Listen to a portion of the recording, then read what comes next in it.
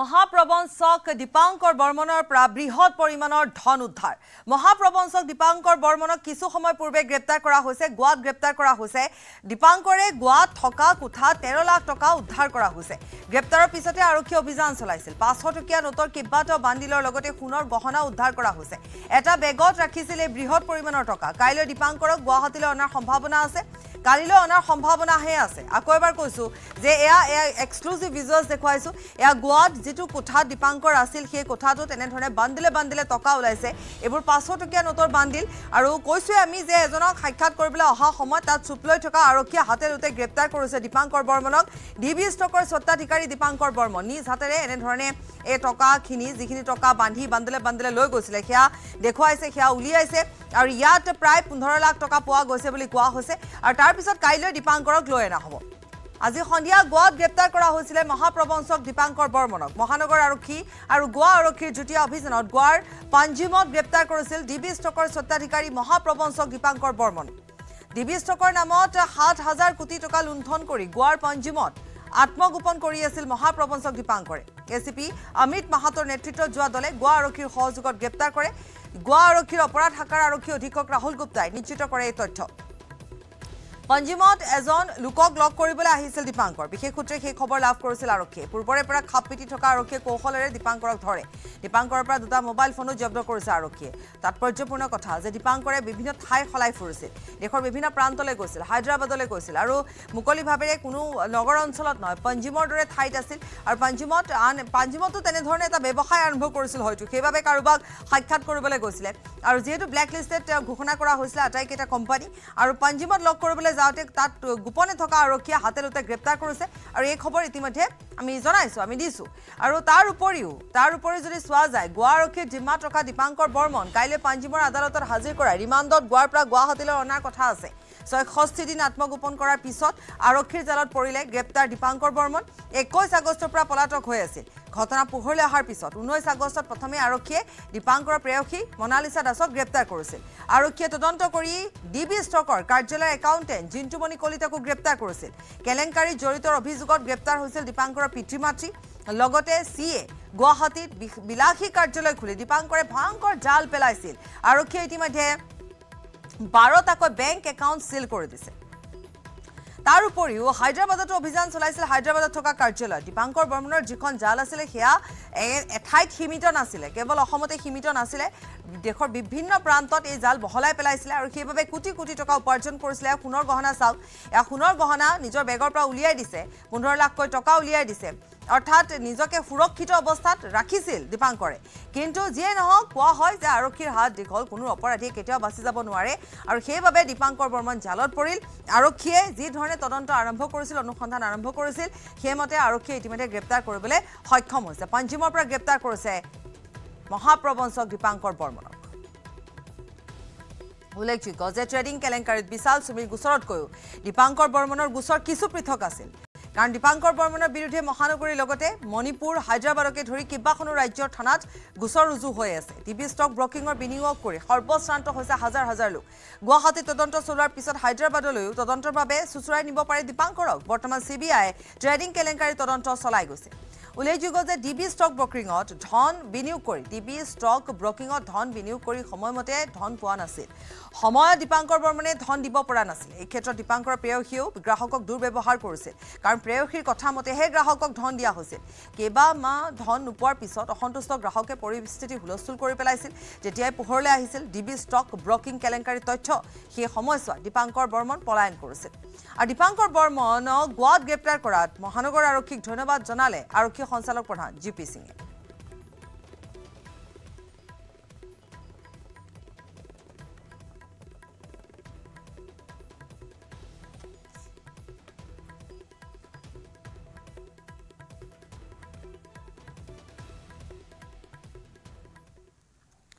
Trading কাণ্ডৰ ক্ষিপ্ৰ তদন্ত আৰম্ভ কৰিছে চি বি আই ইতিমধ্যে তদন্তকাৰী সংস্থা চি বি আই জব্দ কৰিছে অনলাইন ট্ৰেডিং কেলেংকাৰী মূল প্ৰবঞ্চক বিশাল ফুকন আৰু ৰঞ্জিত কাকতিয়ে জব্দকৃত বিভিন্ন সামগ্ৰী কাৰ্যালয় ঘৰত উদ্ধাৰ কৰা সামগ্ৰী আজি ডিব্ৰুগড়ৰ পৰা গুৱাহাটীলৈ লৈ অনা হয় আৰু এই সামগ্ৰীসমূহৰ ভিতৰত আ অলংকাৰ L C D T laptop কাপোৰ নথিপত্ৰ ট্ৰাংক আৰু ট্ৰলি বেগ আদি পোৱা গৈছে উল্লেখযোগ্য যে ৰাজ্যৰ একচল্লিছটাকৈ গোচৰৰ লগতে ডিব্ৰুগড়ৰ সদৰ আৰক্ষী থানা তিনিশ বাৱন্ন অব্লিক চৌব্বিছ আৰু তিনিশ চৌৱন্ন অব্লিক চৌব্বিছ নম্বৰ গোচৰ দুটা লৈছিল চি বি আই বিগত ওঠৰ অক্টোবৰত ডিব্ৰুগড়ত চি বি আইৰ পাঁচজনীয়া দল উপস্থিত হোৱাৰ লগতে বাইছ অক্টোবৰত পুনৰ সাতজনীয়া দল উপস্থিত হৈছিল ডিব্ৰুগড়ৰ কেন্দ্ৰীয় কাৰাগাৰত থকা বিশাল ফুকন ৰঞ্জিত কাকতি চুমি বৰা তাৰ্কিক বৰা অম্লান বৰাসহ আঠজনক লৈ গৈছিল পঁচিছ অক্টোবৰত ইয়াৰ পাছতে আজি জব্দকৃত সামগ্ৰীসমূহ চি বি আই দলটোৱে লৈ যায় এখন ইন'ভা আৰু বলেৰৰ জৰিয়তে আনহাতে বিশালৰ জব্দকৃত আঠখন বিলাসী বাহনসহ ৰঞ্জিত কাকতিৰ দুখন অদি বাহন বৰ্তমান ডিব্ৰুগড় থানাতে আছে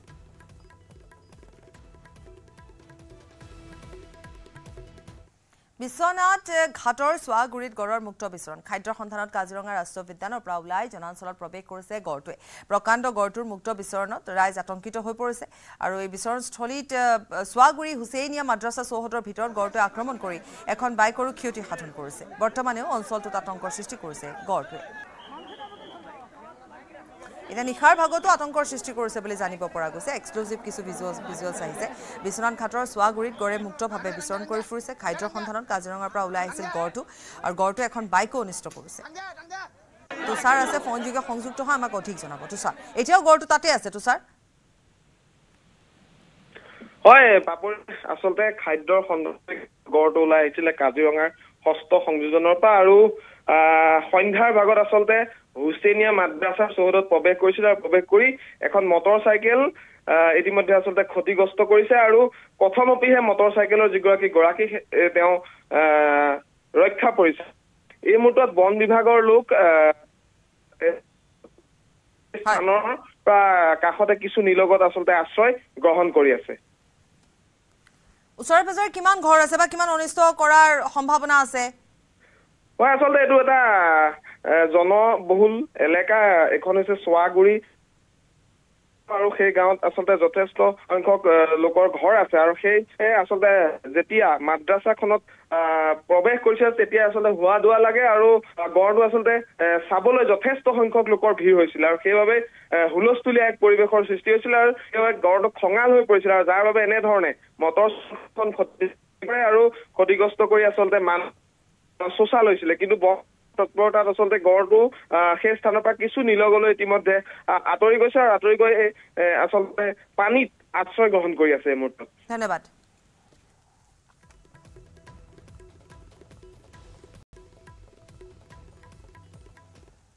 ডিব্ৰুগড় মহানগৰৰ মাজমজিয়াত সুৰামত্ত যুৱতীৰ তাণ্ডৱ এখন আই টুৱেণ্টি বাহনেৰে এফালৰ পৰা মহতি আনিলে কেইবাখনো বাহনৰ লগতে কেইবাজনো লোককো ডিব্ৰুগড়ত অতি ব্যস্ত পি এন ৰোডৰ পৰা থানা চাৰিআলিৰ নিৰ্মীয়মান ফ্লাইঅভাৰলৈকে বহু ঠাইত দুৰ্ঘটনা সংঘটিত কৰি তাণ্ডৱ চলাইছিল যুৱতীগৰাকীয়ে অৱশেষত নিৰ্মীয়মান ফ্লাইঅভাৰৰ তলত এখন কমাৰশালত প্ৰৱেশ কৰে বাহনখন কমাৰশালৰ তিনিজনকৈ কৰ্মচাৰী গুৰুতৰভাৱে আহত হৈছে সংকটজনক অৱস্থাত চিকিৎসালয়ত ভৰ্তি কৰোৱা হৈছে ইফালে দুৰ্ঘটনা সংঘটিত কৰা যুৱতীগৰাকীক উত্তম মধ্যম সোধাই একাংশ স্থানীয় মহিলাই অৱশেষত আৰু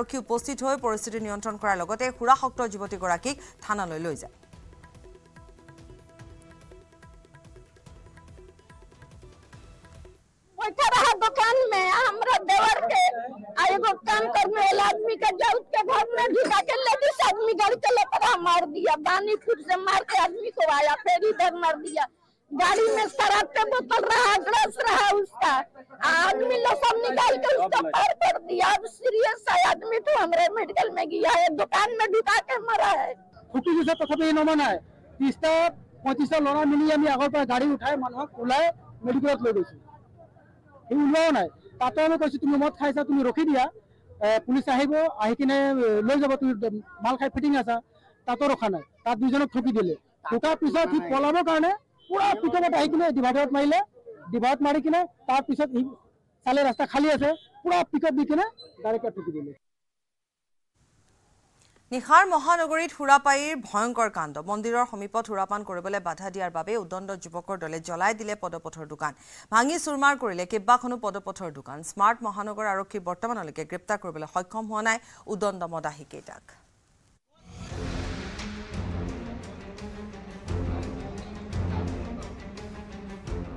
মদাহীৰ মাতলামি মুখত অশ্ৰাব্য গালি মন্দিৰৰ ওচৰত মদ খাবলৈ বাধা দিয়াৰ ভয়ংকৰ পৰিণতি ভাঙি চুৰমাৰ কৰি জ্বলাই দিলে পদপথৰ দোকান দাবী ধমকি ডিঙি কাটি মৃতদেহ দলিয়াই দিম ৰাস্তাৰ খুটাত বান্ধি থম চৌবিছ ঘণ্টাই আৰক্ষীয়ে গিজ গিজাই থকা গুৱাহাটী মহানগৰীৰ নিশাৰ কাহিনী ছয় মাইলৰ ক্ষুদ্ৰ ব্যৱসায়ীৰ ওপৰত তাণ্ডৱ চলালে একাংশ উদণ্ড সুৰা পায়ে গ্ৰাহক আৰু ৰাইজৰ উপস্থিতিতে এফালৰ পৰা কেইবাখনো দোকান চূৰ্ণ বিচূৰ্ণ কৰাৰ লগতে জ্বলাই দিলে এখন দোকান শিৱ মন্দিৰটোৰ কাষতে তেওঁলোকে মদ খাই আছে মই ক'লোঁ যে দাদা মন্দিৰটোত মদ খালে বেয়া লাগে অকণমান কাষত খাওক তেওঁলোকে কৈছে মন্দিৰটো আমি বনোৱা আমি মন্দিৰটো শুওঁ খাওঁ যি কৰোঁ তহঁতি কৰোঁ তাৰপিছত অসমত থাকি অসমীয়াকে তেওঁলোকে হৈছে তহঁতৰ ইয়াত মাটি আছে নেকি তহঁতৰ ইয়াত তহঁতৰ প্ৰমাণ পত্ৰ দে তহঁতৰ ইয়াত দোকান আছে নেকি তাৰপিছত তেওঁলোকে কৈছে তহঁতৰ আই ডি দে তহঁতৰ ডিঙি কাটিবলৈ ইয়াৰ পৰা দলিয়াই দিম তহঁতক বান্ধি থওঁ তেওঁলোকে বহুত অসভ্যালি কৰিছে তেওঁলোকে অসভ্যালি সীমা নাই মানে কেৱল ইমানেই নহয় গুণ্ডা বাহিনীৰ আক্ৰমণক আহত হৈছে কেইবাজনো ব্যৱসায়ী পেটে পাতে দুবেলা দুহাজ খাই জীৱন নিৰ্বাহ কৰা ব্যৱসায়ীৰ স্পষ্ট মত দীৰ্ঘদিনৰে পৰা মদাহীকেইটাই চলাই আহিছে নিৰ্যাতন দৈনিক গুণ্ডা টেক্স তোলে এশৰ পৰা এশ পঞ্চাছ টকা পৰৱৰ্তী সময়ত ঘটনাস্থলীত দিছপুৰ আৰক্ষী উপস্থিত হয় যদিও আৰক্ষী অহাৰ পূৰ্বেই পলাই পত্তং দিয়ে দুষ্কৃতিকাৰীৰ দলটো নিশাই ভুক্তভোগী ব্যৱসায়ীসকলে দিছপুৰ আৰক্ষী থানাত ৰুজু কৰিছে গোচৰ কিন্তু এই পৰ্যন্ত আৰক্ষীয়ে কৰায়ত্ব কৰিব পৰা নাই এজনো অভিযুক্তক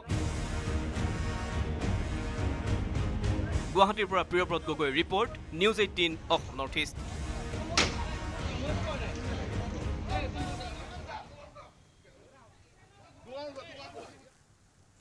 ধলাই সমষ্টিত বিজেপিৰ উপ নিৰ্বাচন কেন্দ্ৰিক বিদ্ৰোহ প্ৰশমনৰ চেষ্টা কৰিছে শীৰ্ষ নেতৃত্বই দল ত্যাগী অসন্তুষ্ট অমীয় কান্তি দাসক বুজাবলৈ চেষ্টা কৰিছে বিজেপি নেতৃত্বই দলীয় টিকট নাপায় বিজেপি ত্যাগ কৰিছিল অমীয় কান্তি দাসে দল ত্যাগ কৰি ইতিমধ্যে নিৰ্দলীয়ভাৱে মনোনয়ন দাখিল কৰিছে অমীয়ই মুখ্যমন্ত্ৰীৰ নিৰ্দেশত বিধায়ক কৌশিক ৰায় কান্তি দাসক সাক্ষাৎ কৰে দুই এদিনতে ধলাইলৈ গৈ অমীয় কান্তি দাসক সাক্ষাৎ কৰিব মন্ত্ৰী জয়ন্ত মল্ল বৰুৱাই কৌশিক ৰায়ে সাক্ষাৎ কৰি অমীয় কান্তি দাসক মনোনয়ন প্ৰত্যাহাৰ কৰাৰ বাবে আহ্বান জনায় মনোনয়ন পত্ৰ প্ৰত্যাহাৰৰ বিনিময়ত বিজেপিয়ে দুটা প্ৰস্তাৱ দিছে অমিয়কান্তি দাসক বিজেপিৰ টোপ পৰৱৰ্তী সময়ত অমিয়কান্তি দাসে কি সিদ্ধান্ত গ্ৰহণ কৰে সেয়া সময়ত পৰিলক্ষিত হ'ব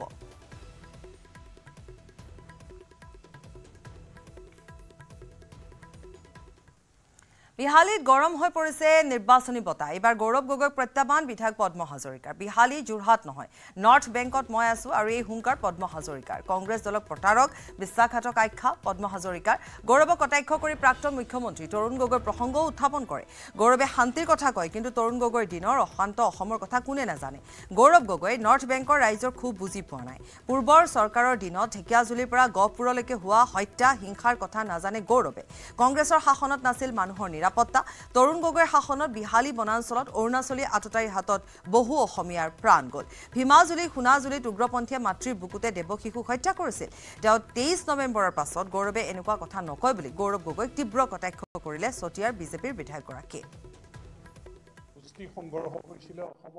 বহু হত্যাকাণ্ড সংঘটিত হৈছিল ইয়াৰ পৰা বিহালী কিন্তু বাদ পৰি যোৱা নাছিল আমাৰ এই অঞ্চলত ভীমাজুলী কাণ্ড কেনেকৈ হৈছিলে আঠ চনত দুহেজাৰ চৈধ্য চনৰ তেইছ অক্টোবৰত তিনি তিনিসুটি কাণ্ড কেনেকৈ হৈছিলে কেনেকৈ তিনিসুটি শৰ্মাক হত্যা কৰিছিল সেই সময়ত কংগ্ৰেছ দলৰ চৰকাৰ চলি আছিল কিন্তু কংগ্ৰেছ দলৰ কোনো মন্ত্ৰী বিধায়ক আনকি ডিপাৰ্টমেণ্টৰ বা ডিষ্ট্ৰিক্ট এডমিনিষ্ট্ৰেশ্যনৰ শীৰ্ষ বিষয়ে তাত উপস্থিত হোৱা নাছিলে যে মানুহৰ যেতিয়া জীৱন সম্পত্তি নিৰাপত্তা নাছিলে হত্যালীলা হৈছিলে ইয়াত হত্যাকাণ্ড হৈছিলে সেই সময়ত চৰকাৰ থাকিও কিন্তু কংগ্ৰেছৰ মানুহৰ কোনো খবৰ ল'বলৈ কোনো মন্ত্ৰী বিধায়ক চৰকাৰৰ বিষয়াক পঠিয়াবলৈ তেওঁলোকৰ দায়িত্ব জ্ঞান সেই সময়ত নাছিলে আজি তেওঁলোকে ভাৰতীয় জনতা পাৰ্টীক আক্ৰমণ কৰি যিবিলাক কথা গৌৰৱ গগৈ ডাঙৰীয়াই কৈছিলে কৈ আছে তেওঁক মই প্ৰত্যাহ্বান জনাইছোঁ তেওঁ পিতৃ মুখ্যমন্ত্ৰী হৈ থকা অৱস্থাত এই বিহালী সমষ্টিত অসমৰ মই বাদেই দিছোঁ বিহালী সমষ্টিত যিবিলাক ঘটনা সংঘটিত হৈছিল সেইবিলাকৰ ওচৰত থিয় হোৱাৰ দায়িত্ব তেওঁলোকৰ নাছিল নেকি আজি শান্তিৰ অসম কেনেকৈ হৈছে হয় মানুহৰ কিছু অসন্তুষ্টি আমাৰ চৰকাৰৰ দিনতো নাই বুলি মই নকওঁ কিন্তু এই যে অশান্তিৰ পৰিৱেশ দূৰ কেতিয়া হৈছে ভাৰতীয় জনতা পাৰ্টীৰ চৰকাৰ চৈধ্য চনৰ শেষৰ ফালে যেতিয়া দিল্লীত অধিষ্ঠিত হৈছে চৈধ্য চনৰ ডিচেম্বৰ মাহৰ তেইছ তাৰিখে ইয়াত যেতিয়া তিনিখুটি ঘটনা সংঘটিত হ'ল আমাৰ ফালৰ পৰা যেতিয়া কেন্দ্ৰীয় চৰকাৰক জনোৱা হ'ল সেই সময়ত গৃহমন্ত্ৰী ৰাজনী ৰাজনাথ সিং ডাঙৰীয়া এই বিশ্বনাথ চাৰিআলি চাৰ্কিট হাউচত আহি যেতিয়া উপস্থিত হৈ তেওঁ যেতিয়া ঘটনাৰ সবিশেষ জানিলে তেওঁ কৈছিলে এইটো কি জংঘল ৰাজ চলি আছে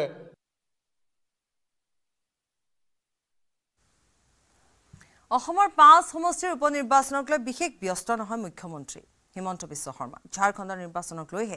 দিনে নিশাই ব্যস্ত হৈ আছে মুখ্যমন্ত্ৰীগৰাকী এই কথা নিজে উল্লেখ কৰি মুখ্যমন্ত্ৰীয়ে চামগুৰিত ৰকিবুল হুছেইনে চলোৱা গোমাংসৰ ৰাজনীতিক লৈ একো নাজানে বুলি সদৰি কৰে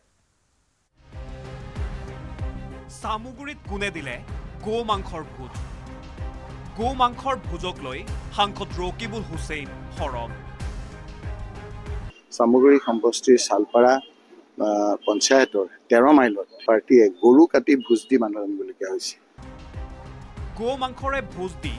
বিজেপিয়ে মুছলমানৰ ভোট আদায়ৰ চেষ্টা কৰা বুলি ধুবুৰীৰ সাংসদ ৰকিবুল হুছেইনে এনেদৰেই কৰিছিল দাবী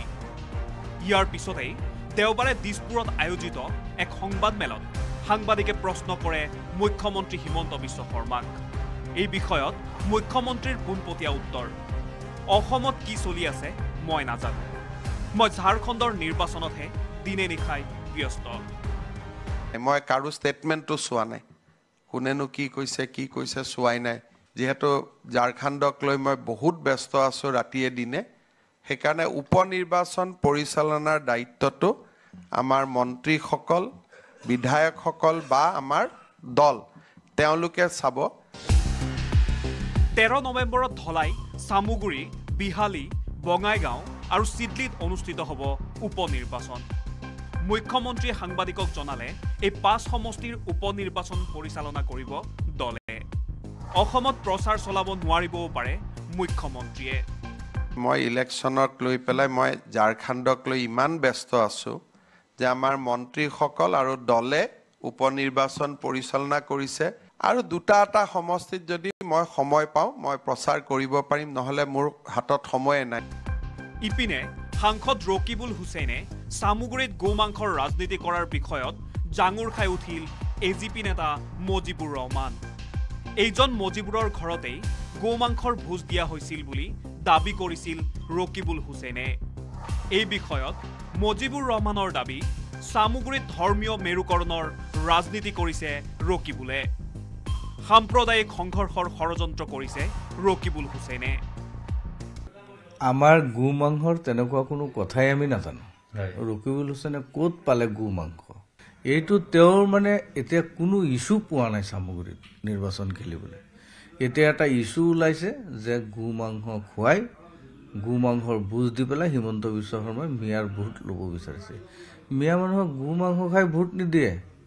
এনেই ভোট দিব এইবাৰ চামগুৰি সমষ্টিৰ মুছলমান মানুহ আজি ওলাই আহিছে আজি এওঁলোকে বুজি পাইছে যে আমি উন্নয়নৰ লগত থাকিব লাগিব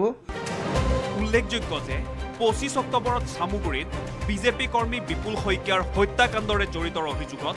আৰক্ষীয়ে আটক কৰিছে আৰাফত আলী নামৰ এজন কংগ্ৰেছ নেতাক আৰক্ষী সূত্ৰই সদৰি কৰা মতে ধৃত আৰাফত এজন দুধৰ্ষ টকাই bureau report news eighteen Assam north east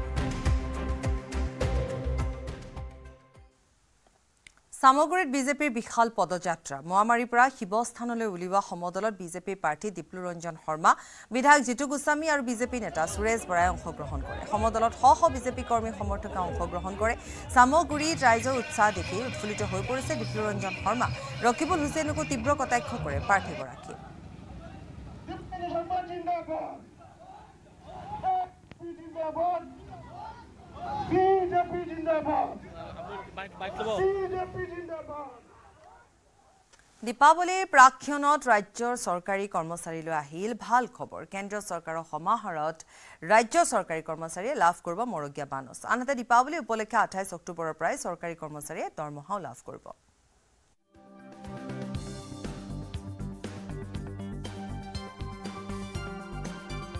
দীপাৱলীৰ প্ৰাক্ষণত ৰাজ্যৰ চৰকাৰী কৰ্মচাৰীলৈ ভাল খবৰ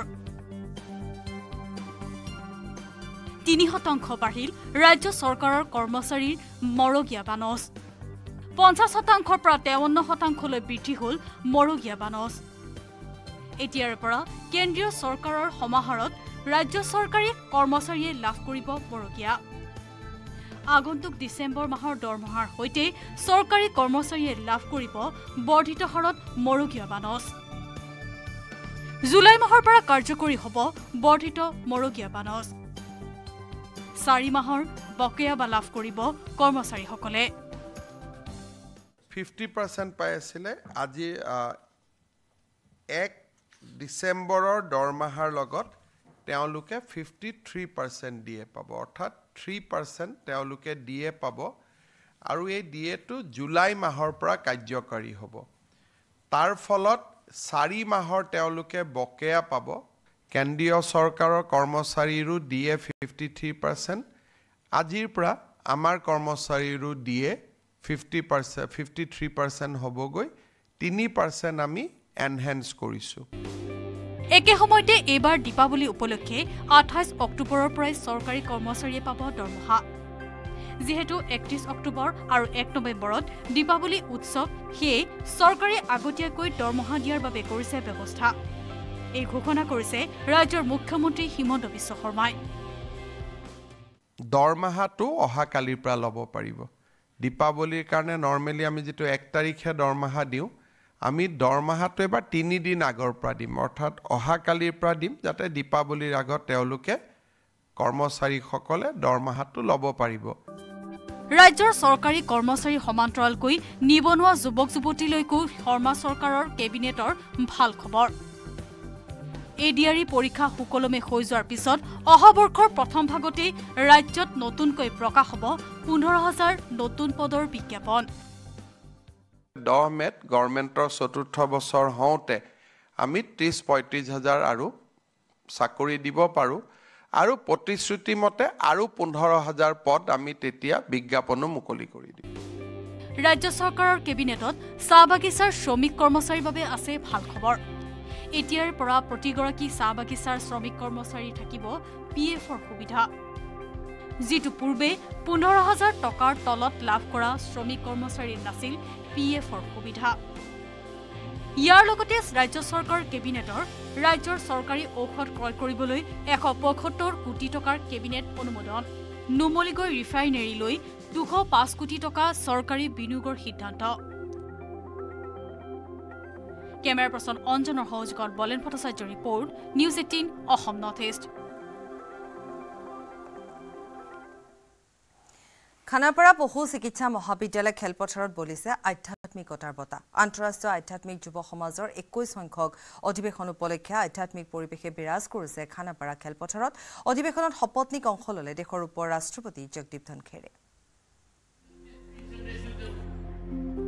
কৃষ্ণগুৰুৰ অমৃতবাণীৰ বিশাল প্ৰচাৰ গুৱাহাটীত কৃষ্ণগুৰুক একান্ত স্মৰণ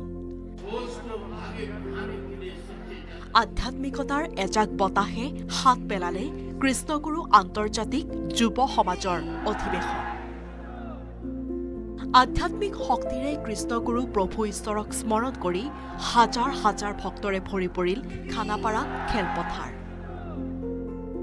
কৃষ্ণগুৰুৰ ভাৱনাৰে জ্ঞানৰ দক্ষিণা বিচাৰি একগোট হ'ল ৰাজ্যৰ ইমূৰৰ সিমূৰৰ পৰা অহা ভক্তৰে হৰিনামেৰে মুখৰিত কৃষ্ণগুৰু অধিৱেশন অনুষ্ঠানত উপস্থিত কৃষ্ণগুৰু প্ৰেমানন্দ প্ৰভু এয়া আন্তঃৰাষ্ট্ৰীয় আধ্যাত্মিক যুৱ সমাজৰ একৈশ সংখ্যক অধিৱেশন খানাপাৰা পশু চিকিৎসা মহাবিদ্যালয় খেলপথাৰৰ এই অনুষ্ঠানতে কৃষ্ণগুৰু প্ৰভু প্ৰেমানন্দৰ শুভাগমন বিশাল সভাথলীত মুখ্য অতিথিৰূপে উপস্থিত দেশৰ উপ ৰাষ্ট্ৰপতি পত্নীৰ সৈতে অসমলৈ অহা উপ ৰাষ্ট্ৰপতিৰ মুখত প্ৰভু কৃষ্ণগুৰুৰ মাহাত্ম বিশ্লেষণ এক নাম মে সব কু সমাহিত এক নাম Krishna Guru the chanting of it brings about convergence of spirituality, sublimity, and nectar of our civilization. Bharatvarsha এখন দেশ য'ত ভগৱান বিৰাজমান ভাৰতবৰ্ষৰ ওপৰত সমগ্ৰ বিশ্বৰ দৃষ্টি এইবোৰ কথাৰ মাজতে ভাষণত উপ ৰাষ্ট্ৰপতিগৰাকীয়ে আওৰালে অসমীয়া ভাষাক ধ্ৰুপদী ভাষাৰ গৌৰৱময় ক্ষণৰ ইতিহাসৰ প্ৰসংগ इन्हीं महापुरुषों के योगदान की वजह से आज हमारा भारत प्रधानमंत्री नरेंद्र मोदी के नेतृत्व में दुनिया के हर कोने में महत्व रखता है विशाल सभार मंच सम्बोधन केंद्रीय मंत्री सर्वानंद सोनवाल राज्य मुख्यमंत्री हिमंत विश्व शर्मा कृष्णगुर प्रति लोक आकृष्ट हुआ देखी अभिभूत हो पड़े सरबानंद सोनवाल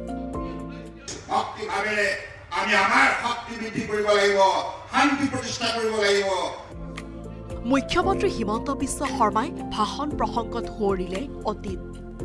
শিক্ষামন্ত্ৰী হৈ থকা কালৰ স্মৃতি আৰু কৃষ্ণগুৰু সেৱা আশ্ৰমে বিলোৱা জ্ঞানৰ পোহৰক এক ঐশ্বৰিক শক্তি আখ্যা দিলে মুখ্যমন্ত্ৰীয়ে কৃষ্ণগুৰু প্ৰভুৱে কৃষ্ণ ভকতিৰ মাধ্যমেৰে শান্তিপূৰ্ণ প্ৰেমময় বৈষম্যহীন এখন সমাজৰ পোষকতা কৰিছিল অধিবেশনত ভক্তৰ শাৰীতে এনেদৰে মাটিত বহি ভাষণ শুনিলে দিছপুৰৰ মন্ত্ৰী বিধায়কে এক কথাত প্ৰভু কৃষ্ণগুৰুক স্মৰণ আৰু এই অধিৱেশনে বিশাল অমৃতবাণীৰ বিশাল প্ৰচাৰ ভিডিঅ' জাৰ্ণেলিষ্ট সুশান্ত দাসৰ সহযোগত গুৱাহাটীৰ পৰা দীপাংকৰ দাসৰ report news eighteen Assam north east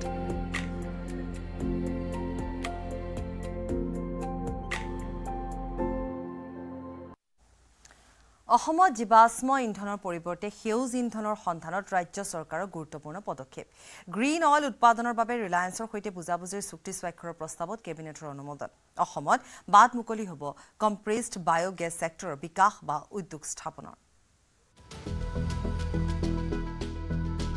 অসমত সেউজ ইন্ধন বিকাশৰ ক্ষেত্ৰত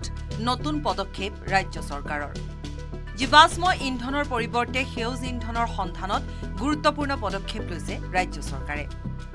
সেউজ ইন্ধন বা গ্ৰীণ অইলৰ উৎপাদনৰ বাবে দেশৰ আগশাৰী তেল শোধন তথা শক্তি কোম্পানী ৰিলায়েন্সৰ সৈতে বুজাবুজিৰ চুক্তি স্বাক্ষৰ কৰিবলৈ আগবাঢ়িছে ৰাজ্য চৰকাৰ ৰিলায়েন্সৰ সৈতে বুজাবুজিৰ চুক্তি স্বাক্ষৰৰ প্ৰস্তাৱত দেওবাৰে অনুমোদন জনালে ৰাজ্য চৰকাৰৰ কেবিনেটে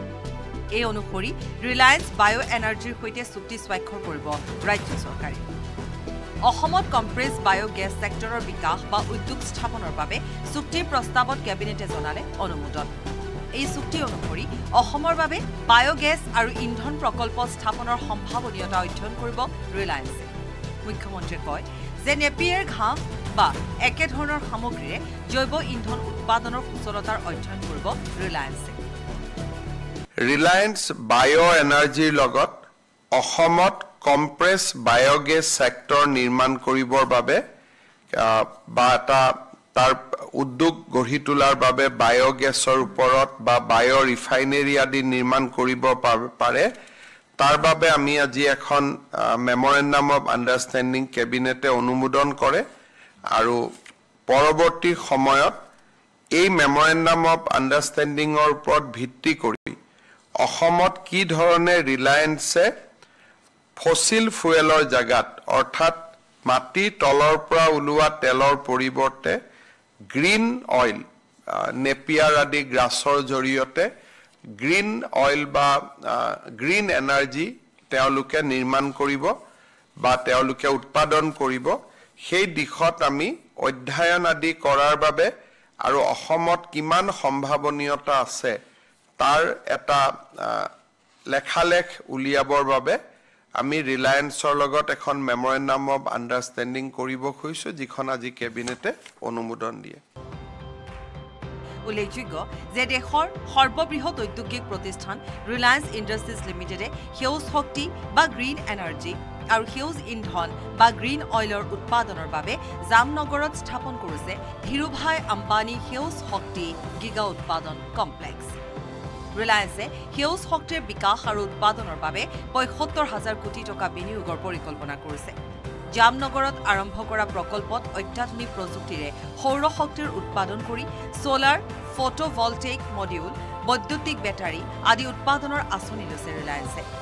ইমানেই নহয় দুহেজাৰ পঁচিছ চনৰ ভিতৰত মেগাৱাট পৰ্যায়ৰ ছডিয়াম আয়ন বেটাৰী আৰু দুহেজাৰ ছাব্বিছ চনৰ ভিতৰত পঞ্চাছ মেগাৱাট পৰ্যায়ৰ লিথিয়াম আয়ন বেটাৰী উৎপাদনৰ কাম আৰম্ভ কৰিছে একে সময়তে দুহেজাৰ ত্ৰিছ চনৰ ভিতৰত এশ গিগাৱাটৰ পুনৰ নবীকৰণ শক্তি উৎপাদনৰ বাবে কাম কৰি আছে ৰিলায়েন্সে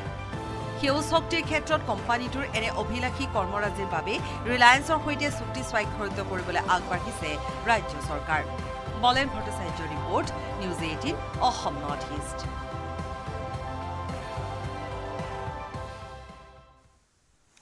অসম চৰকাৰে ৰাস উদযাপন কমিটিসমূহলৈ পঁচিছ হাজাৰ টকাকৈ অনুদান আগবঢ়াব বুলি ঘোষণা কৰিছে মুখ্যমন্ত্ৰীয়ে মুখ্যমন্ত্ৰীৰ ঘোষণাত সুখী প্ৰতিখন ৰাস কমিটি মাজুলীৰ ৰাস কমিটিৰ সমান্তৰালভাৱে শিৱসাগৰৰ বেদবাৰী আঞ্চলিক শ্ৰী শ্ৰী শংকৰদেৱ কৃষ্টি বিকাশ সমিতিয়ে মুখ্যমন্ত্ৰীক ধন্যবাদ জ্ঞাপন কৰে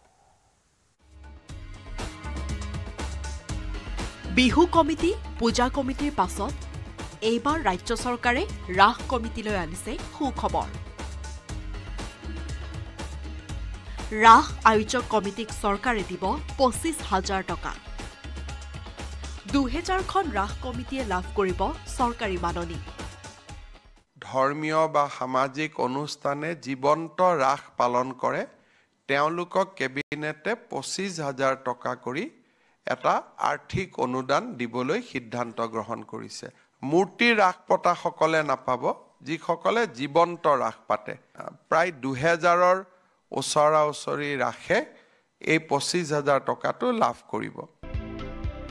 আৰক্ষী প্ৰশাসনৰ অনুমতিৰ বাবদ দিব নালাগে কোনো মাচুল মাচুল অবিহনেই লাভ কৰিব আৰক্ষী প্ৰশাসনৰ অনুমতি ৰাসৰ ক্ষেত্ৰত ৰাস পাতিবৰ কাৰণে পুলিচক বা ডি চিক প্ৰশাসনীয় পাৰ্মিশ্যন লওঁতে তেওঁলোকে যাতে কোনো ফিজ দিব নালাগে উইদাউট ফিজ পাৰ্মিশ্যন পায় যেনেকৈ আমি দুৰ্গা পূজাসমূহত দিওঁ তেনেকৈ আমি এই ক্ষেত্ৰত উইডাউট ফিজ পাৰ্মিশ্যন দিবৰ কাৰণেও আজি কেবিনেটে জিলা প্ৰশাসনক নিৰ্দেশ দিছে ৰাস শৰতৰ সন্ধিয়া জোনাক ৰাতি কৃষ্ণই বৃন্দাবনত বজাই বাঁহী শ্ৰীকৃষ্ণৰ বাঁহীৰ সুৰত গকুলৰ গোপিনীয়ে নিজৰ কাম কাজ এৰি শ্ৰীকৃষ্ণৰ কাষলৈ ঢাপলি মেলে কৃষ্ণক কাষত পাবলৈ হাবা থুৰি খায় কৃষ্ণই প্ৰেমিকা ৰাধাক এই গোপিনীৰ মাজৰ পৰাই লৈ অন্তৰ্ধান হয় আৰু বিষাদত ডুব যায় গকুলৰ গোপিনী সঁচাকৈয়ে ৰাসৰ দ্বাৰাই জানিব পাৰি ভগৱান কৃষ্ণৰ অপাৰ মহিমাৰ কথা মুখ্যমন্ত্ৰীৰ ঘোষণাৰ পাছতে আনন্দিত মাজুলীবাসী লগতে ৰাস কমিটিসমূহো ৰাস সমিতিসমূহৰ লগত আলোচনাত বহা মন্ত্ৰী ৰনোজ পেগুলৈও ধন্যবাদ জনালে সন্মিলিত শিল্পী সমাজৰ সভাপতি প্ৰভাত বৰা বুঢ়া ভকতে শিক্ষামন্ত্ৰী মহোদয় তথা সন্মানীয় অসমৰ মুখ্যমন্ত্ৰী মহোদয়ক আমি ৰাস মঞ্চসমূহৰ তৰফৰ পৰা তথা সন্মিলিত শিল্পী সমাজ মাজুলীৰ তৰফৰ পৰা ধন্যবাদ আৰু কৃতজ্ঞতা জ্ঞাপন কৰিছোঁ আৰু মাজুলীত ৰাসোৎসৱ উদযাপন কৰিবৰ কাৰণে ইতিমধ্যে প্ৰস্তুতি চলিছে আখৰা চলিছে এই মুখ্যমন্ত্ৰী মহোদয়ে দিয়া শুভ সংবাদ সংবাদকেইটিৰ যোগেদি শিল্পীসকলে অত্যন্ত উৎসাহিত হৈ ৰাস মহোৎসৱ উদযাপন কৰিব বুলি মই আশা কৰিছোঁ মাজুলীৰ পৰা ভাস্কৰজ্যোতি কটকীৰ সহযোগত বনেন ভট্টাচাৰ্যৰ report news eighteen Assam north east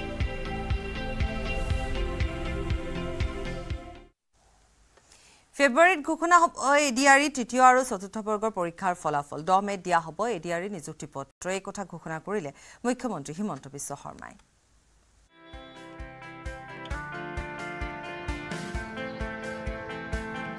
অন্ত পৰিল ৰাজ্য চৰকাৰৰ অসম প্ৰত্যক্ষ নিযুক্তি পৰীক্ষাৰ দেওবাৰে কটকটীয়া নিৰাপত্তা ব্যৱস্থাৰ মাজত অনুষ্ঠিত হ'ল চতুৰ্থ বৰ্গৰ নিযুক্তি পৰীক্ষা ইতিমধ্যে তৃতীয় বৰ্গৰ নিযুক্তি পৰীক্ষাও সম্পন্ন হৈ গৈছে বিৰাল্লিছটা বিভাগৰ বাবে অনুষ্ঠিত হোৱা নিযুক্তি পৰীক্ষা সফলতাৰে সমাপ্ত হোৱাৰ পাছত মুখ্যমন্ত্ৰীৰ ঘোষণা অহা বছৰ অৰ্থাৎ দুহেজাৰ পঁচিছ চনৰ ফেব্ৰুৱাৰীত ঘোষণা হ'ব এ ডি আৰ ইৰ ফলাফল ফেব্ৰুৱাৰীত ফলাফল ঘোষণাৰ পিছতে দহ মে'ত দিয়া হ'ব উত্তীৰ্ণ প্ৰাৰ্থীসকলক নিযুক্তি আৰু আমি চেষ্টা কৰিম যাতে ফেব্ৰুৱাৰী মাহত আমি দুইটা পৰীক্ষাৰ ৰিজাল্ট একেলগে আমি দিব পাৰোঁ দহ মে'ত আমি পঁয়ত্ৰিছ হাজাৰ চাকৰি আমি দিম এডুকেশ্যন ডিপাৰ্টমেণ্ট পুলিচ গতিকে এ ডি আৰ ইয়াৰ পিছত এ ডি এডিআৰই এটা অৰেলো আছে এটা পষ্টৰ বিপৰীতে দুজন পাছ কৰিব গতিকে তাৰ পিছত তেওলোকৰ এটা মৌখিক পৰীক্ষাও আছে স্কিলো আছে গতিকে গোটেই প্ৰক্ৰিয়াটো কৰোঁতে কৰোঁতে আমি দহ মেলৈকে লৈ যাব খুজিছোঁ যাতে দহ মেত গভৰ্ণমেণ্টৰ চতুৰ্থ বছৰ হওঁতে আমি ত্ৰিছ পঁয়ত্ৰিছ হাজাৰ আৰু চাকৰি দিব পাৰোঁ ৰাজ্যৰ মুঠ এহেজাৰ চাৰিশ চৌৰাশীটা কেন্দ্ৰত অনুষ্ঠিত চতুৰ্থ বৰ্গৰ পৰীক্ষাত প্ৰায় চৈধ্য লাখ পৰীক্ষাৰ্থী অৱতীৰ্ণ হয় আগবেলা আৰু পাছবেলা দুটা ভাগত ৰাজ্যৰ বিৰাল্লিছটা বিভাগত খালী হৈ থকা পাঁচ হেজাৰ তেইছটা পদৰ বাবে অনুষ্ঠিত হ'ল পৰীক্ষা পূৰ্বৰ পৰীক্ষাৰ দৰে এইবাৰো পৰীক্ষা কেন্দ্ৰত সোমোৱাৰ আগমুহূৰ্তত প্ৰাৰ্থীসকলক চলোৱা হ'ল তন্ন তন্নকৈ তালাচী চি চি টিভিৰ নিৰীক্ষণত হ'ল এই নিযুক্তি পৰীক্ষা দুহেজাৰ চৌবিছ বৰ্ষৰ নিযুক্তি পৰীক্ষাৰ অন্ত পৰাৰ লগে লগে চাকৰি প্ৰত্যাশীসকলৰ বাবে মুখ্যমন্ত্ৰীয়ে দিলে এটা সুখবৰ আগন্তুক সময়ত ৰাজ্য চৰকাৰে নতুনকৈ পোন্ধৰ হাজাৰ চৰকাৰী চাকৰিৰ বিজ্ঞাপন প্ৰকাশ কৰিব দহ মে'ত গভৰ্ণমেণ্টৰ চতুৰ্থ বছৰ হওঁতে আমি ত্ৰিছ পঁয়ত্ৰিছ হাজাৰ আৰু চাকৰি দিব পাৰোঁ আৰু প্ৰতিশ্ৰুতিমতে আৰু পোন্ধৰ হাজাৰ পদ আমি তেতিয়া বিজ্ঞাপনো মুকলি কৰি দিম পূৰ্বে মুখ্যমন্ত্ৰীয়ে ঘোষণা কৰাৰ দৰেই এক লাখ নিযুক্তিৰ অংশস্বৰূপে চৰকাৰে দিব এইসমূহ নতুন পদত নিযুক্তি মুখ্যমন্ত্ৰীৰ এই ঘোষণাই ৰাজ্যৰ লাখ লাখ নিবনুৱালৈ কঢ়িয়াইছে আশাৰ বতৰা বলেন ভট্টাচাৰ্যৰ সহযোগত bureau' report news eighteen Assam north east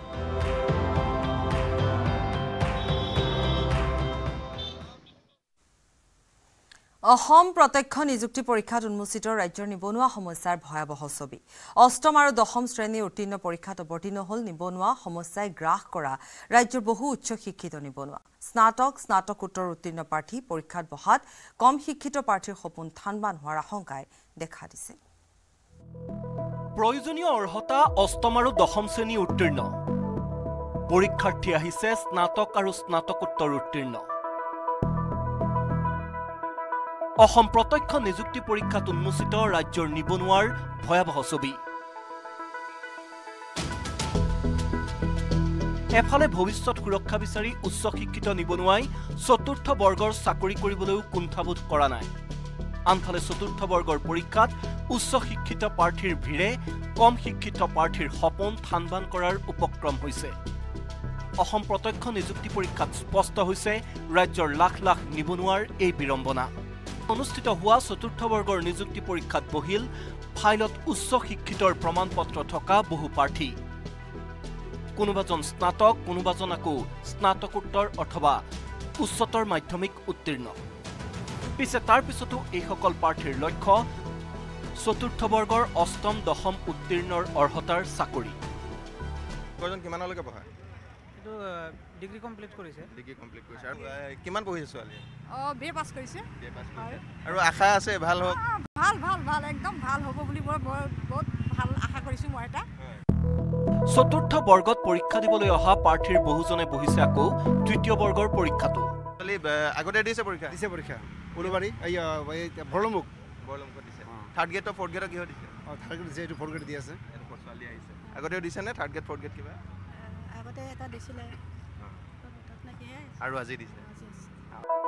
পিছে এয়া কিদৰে সম্ভৱ তৃতীয় চতুৰ্থ বৰ্গৰ চাকৰিৰ বাবে ৰাজ্য চৰকাৰে প্ৰকাশ কৰিছিল পৃথক পৃথক দুটা বিজ্ঞাপন দুটা বিজ্ঞাপনত পৃথক আছিল প্ৰাৰ্থীৰ অৰ্হতা বিগত বৰ্ষৰ এডিয়াৰিটো চতুৰ্থ বৰ্গৰ চাকৰিত এনে একাংশ উচ্চ শিক্ষিত প্ৰাৰ্থীৰ বাবেই বঞ্চিত হৈছিল বিজ্ঞাপনে নিৰ্ধাৰণ কৰা অৰ্হতাৰ প্ৰাৰ্থী একেদৰেই উচ্চ শিক্ষিত একাংশ প্ৰাৰ্থী চতুৰ্থ বৰ্গৰ পদত বাছনি হোৱাৰ পিছত যোগদান নকৰাৰ বাবে খালী হৈ ৰৈছিল বহু পদ এইবাৰো তেনে পৰিস্থিতি হোৱাৰে সম্ভাৱনা প্ৰবল তেনে নহবলৈ এইবাৰ এডিয়াৰীৰ বিজ্ঞাপনত আছিল স্পষ্ট নিৰ্দেশনা চতুৰ্থ বৰ্গৰ বাবে উচ্চ অৰ্হতা সম্পন্ন প্ৰাৰ্থীৰ আবেদন গ্ৰহণ কৰা নাছিল ইমানৰ পিছতো একাংশই উলিয়াই ললে বক্ৰপথ অভিযোগ মতে নিয়োগ বিনিময় কেন্দ্ৰৰ চকুত ধূলি দি একাংশ প্ৰাৰ্থীয়ে উলিয়াইছে দুটা নিয়োগ পঞ্জীয়ন নম্বৰ এটা পঞ্জীয়ন অনুসৰি উচ্চ শিক্ষিত একেজন প্ৰাৰ্থী আনটো পঞ্জীয়ন অনুসৰি কম শিক্ষিত এনে কৌশল অৱলম্বন কৰি একাংশ বহিল চতুৰ্থ বৰ্গৰ পৰীক্ষা ইয়াৰ ফলত উচ্চ শিক্ষিত প্ৰাৰ্থীৰ প্ৰয়োভৰত অষ্টম দশম শ্ৰেণী উত্তীৰ্ণই নিযুক্তি পোৱাটো কঠিন হৈ পৰিছে সমান্তৰালকৈ কম অৰ্হতাৰ প্ৰাৰ্থীৰ বাবে থকা পদত উচ্চ শিক্ষিতই হেতা ওপৰা লগোৱা কাণ্ডই উন্মোচন কৰিছে ৰাজ্যৰ নিবনুৱা সমস্যাৰ ভয়াৱহতা ভিডিঅ' জাৰ্ণেলিষ্ট অঞ্জনৰ সহযোগত প্ৰিয়বত গগৈ আৰু বলেন ভট্টাচাৰ্যৰ report news eighteen Assam north east